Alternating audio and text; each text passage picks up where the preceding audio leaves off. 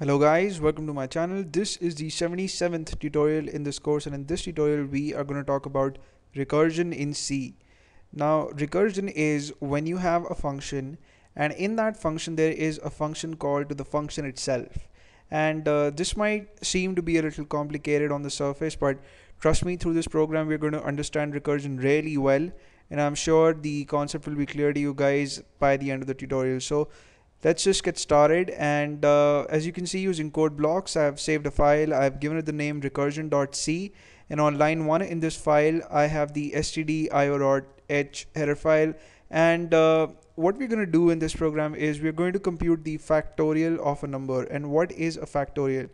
A factorial is the product of that number and all the numbers lesser than that number till the value 1 right? So if suppose you're calculating the factorial of 4 you have to multiply 4 with 3 and then with 2 and then with 1 if you're calculating the factorial of 6 you have to multiply 6 with 5 4 3 2 1 right? So that's what you have to do. And you just have to take integer values between the number and 1 you don't have to you know take uh, if you're calculating the factorial of 6 you don't have to multiply 6 with 5.9 and 5.8 you just have to take integer values in between right? So in this tutorial we are going to calculate the factorial of 5 you can calculate the factorial of any number using this program but um, you know for example I have just taken the value 5 so on line number 2 I have declared a function and uh, it's going to return an integer value and that we can make out because uh, I have the keyword int here and this tells us the return type of the function.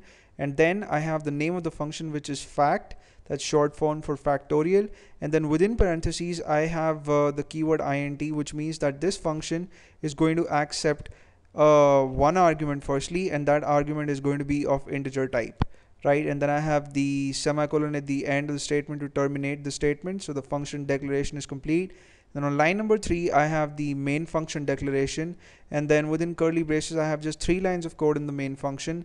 I have declared an integer x. I've given it the value 5 because we want to calculate the factorial of 5 and then on line number 7 I have a printf statement that first displays the value x right? So the first percent d format specifier is to display the value of x.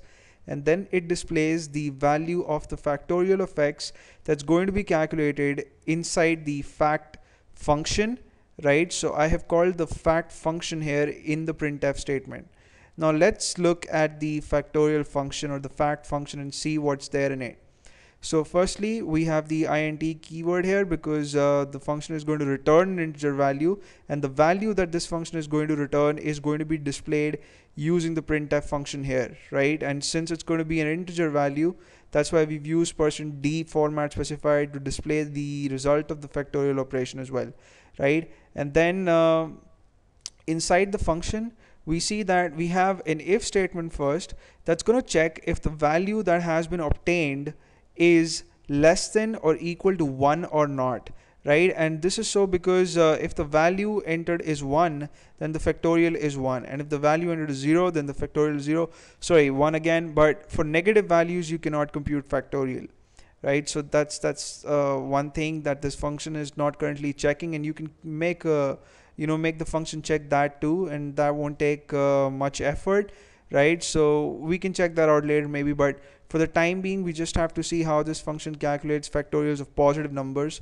So that's why we have this if statement here that checks whether the value that's been passed is less than or equal to 1 or not. And if the value is 1 if the value that's been passed is 1 then the function is going to return 1 as the uh, value right?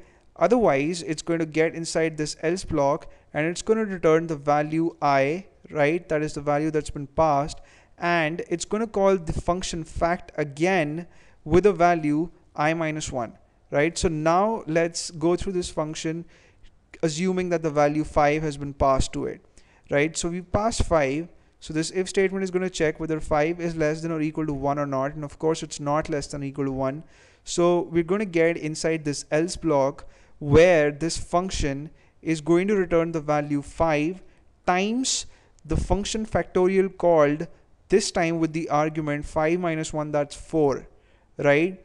So we're still on this statement. We still have to calculate what this has to be replaced with.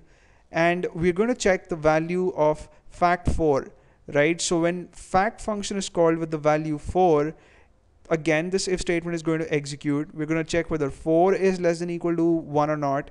And of course it's not. So we're going to get inside the else block again. And this time we're going to return the value 4 times fact of 3 right? So that value is going to be replaced is going to replace the value that we were actually looking for in the previous iteration of the uh, of the function.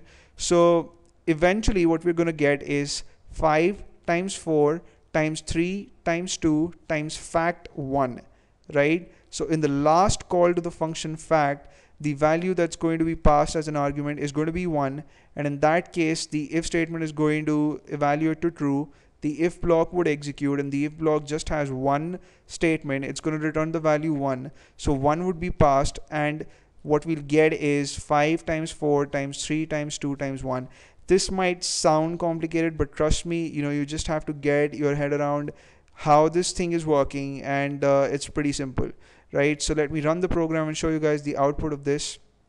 And we see that in the output window the factorial of 5 is 120 and you can verify this because 5 times 4 is 20 20 times 3 is 60 60 times 2 is 120 and 120 times 1 is obviously 120 and if you want to check this with uh, some other value instead of 5 if you want to take uh, 6 maybe.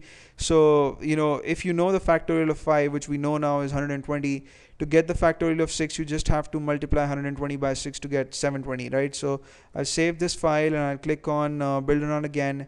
And we see in the output window that the factorial of 6 is 720 so pretty simple this is and I hope you guys had fun watching this tutorial.